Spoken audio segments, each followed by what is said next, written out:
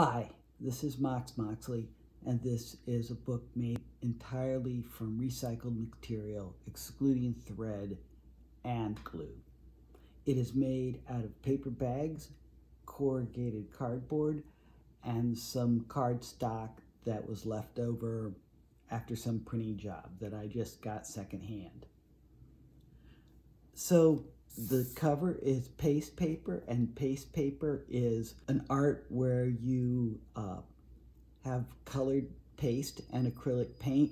You spread it on the bag and then using a series of combs and other textured items you create a pattern on the bag. The other material you're seeing here is a textured uh, also paper bag. It has been dyed and then crumbled and using a material called konnyaku, which is a starch from a root that grows in East Asia. It's been turned into some kind of faux leather, is what you would call it. There's many ways to make faux leather, and you can just check YouTube for that.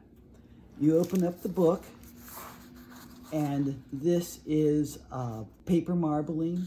Uh, it's again an East Asian technique uh, known as suminagashi in Japan. I assume, like many things, it is widespread and you would find something similar to it in Korea and other countries in Asia.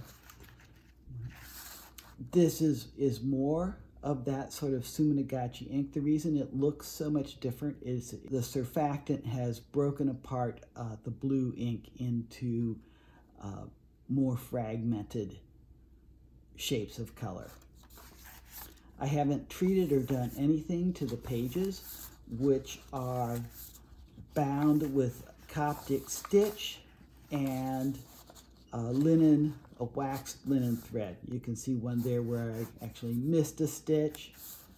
I used a fairly thin linen thread, and I think because the book doesn't entirely close, I would use a thicker one at a later date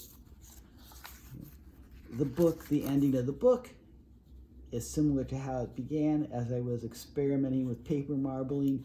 Sometimes when I was cleaning it, I would put a newspaper down to clean off the ink on the surface, and then I saved this particular piece. More Suminagashi marbling, and then the back of the book.